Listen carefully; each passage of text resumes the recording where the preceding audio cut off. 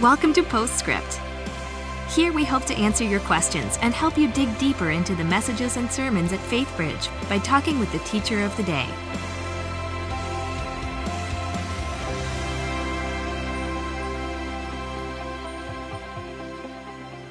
Hi, and welcome to Postscript. I'm Luann Riley, Grow Group and Discipleship Director here at FaithBridge, and I'm here with Timothy Ateek from Vertical Ministries, Bible teacher, who just brought us a message around difficult people.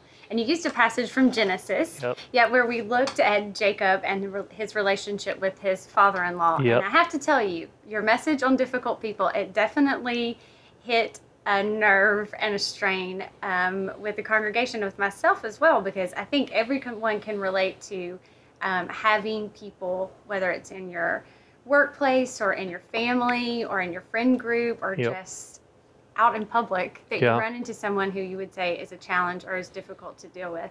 Um, and I love how you started by looking at ourselves. Yeah, I don't struggle with being difficult, but I know that so many Well, other people do. So that's why I wanted to. Ju- yeah, Thank you're you. welcome. And yeah. I love how you started with looking at ourselves Yeah. um, as well. So, um, you know, we'll kind of start there then. Let's talk about that. Um, you know, if you're looking at yourself, this person did and said, you know, I'm recognizing the ways that I can be difficult. yeah. Um, how do we begin then to transition into becoming a more loving, faithful person? Yeah, if you if you're realizing that you're a difficult person, then you know one of the best things you can do is uh, is invite people into your life who can just speak truth to you. You know, I think about like the those distorted mirrors inside of the crazy houses at the mall carnival places. It just reflects a distorted image of yourself and and a lot of times if you're if you're trying to discern how difficult you are on your own, you're just going to see a distorted picture of yourself. You're either going to think you're more difficult than you are, which isn't normally the case. Usually you try and see the best in yourself, which is good, but you end up not really realizing just how difficult you be you can be. So you need to invite people into your life, which is a really humbling thing but especially if it's a spouse or someone like that, but to sit down and say, hey, I, I need you to just kind of help me see here's how I think I'm difficult, but then tell me the specific ways that you notice me being difficult. And so the first step is to identify the, the, the key places where you have a tendency to go the wrong direction hmm. in life. Because when you can, when you can identify those key places, so if it's if it's when you're tired or you know when you know if it's a certain situation with your kids or certain kind of sticking points for you and your spouse if you can identify those things then come up with a battle plan with other people around you who can hold you accountable so that you can put that battle plan into practice. But also i know for me if i have people who are going to ask me every week, How are you doing specifically with this? It changes things because it makes me more aware of, of you know, what I'm doing. The other thing is, you know, knowing the Word of God is really powerful. You know, when Jesus was battling temptation in the desert, how did he combat Satan? He com- combated him with the Word of God. So, if you find specific ways that you're being difficult, if you can attach certain scriptures to those things, memorize it, meditate on those throughout the day, I promise you, in those instances when you're tempted to be difficult, the Spirit will bring truth to mind and it can really diffuse the situation. Yeah, good work. Okay. All right, so let's turn our attention to um, just being in relationship with a difficult person, um, whether it be a boss where, mean, this is someone that you're seeing every day Yep. who's difficult, or a spouse, or maybe a family member. Um, how can you, you know you say try not to not to react to the difficult Yeah. person, but how can you do that? What are some ways that we can? Yeah, I think that this is the big question for people is yeah, it sounds good in theory to respond to God instead of react to the person, but what does that that truly look like? I'll just give you a few really practical real practical things. You know, growing up, I grew up with a dad who's a clinical psychologist, which means I got free therapy for life, which is a really good thing, but I mm-hmm. just remember growing up he always used to say, you know what, listening doesn't mean agreeing. Like to let someone say something to you without responding, that doesn't mean that you're agreeing with them. And I think that so many times the reason that rea- we react is we need to stick up for ourselves, we need to be right, we need justice to prevail in the moment. And the sooner we can realize we live in an unjust world, and there's going to be times where people say things to us that, that sting. And, and it, there's times where, I mean, you can fight back, but in the end, it's not going to go it's not going to go well for you. And so listening doesn't necessarily mean agreeing. If your spouse says something, you know what, the reason that conflicts between spouses go from five minutes to five hours to five days is because we feel like we have the right to be right. So we want to win, we want to win the battle. And when you want to win, you will lose. And so if you can just, if you can bite your tongue and just say, you know what, listening doesn't mean agreeing. And then, especially if it's if it's with a spouse, to come back at a later time when you're not in the heat of the moment to say, you know what, what you said really hurt me. And if they won't listen, then again, that's a that's another issue of them being difficult. But I think that's the first thing. And then number two, when it comes to reacting, especially, I know this with with my wife. If we're in an argument, I promise you, if I can just pause and ask myself this question if I can invite God in in the moment and just say, God, how do you want me to respond in this moment? If I could just allow myself to ask that for a second, it changes everything. I promise you. And it takes our fights from, you know, five hours to five minutes. It really can just cause things to, you know, it, it can shrink things, shrink the severity down. The bottom line is you are going to have difficult people in your life. There are people who are going to say things that really do hurt. And, um, you know, the reason that it can cause so much turmoil is that we feel like we need to defend ourselves and we need to be, we need to come out on top of the other person. But when you look at the example that Jesus displayed for us on the cross, he won by losing. He did. He won by dying. Mm-hmm. You know, I mean, he stood before Pilate and he didn't say a word. I mean, that's incredible. When Pilate was asking him to give a defense, everyone's hurling accusations at him.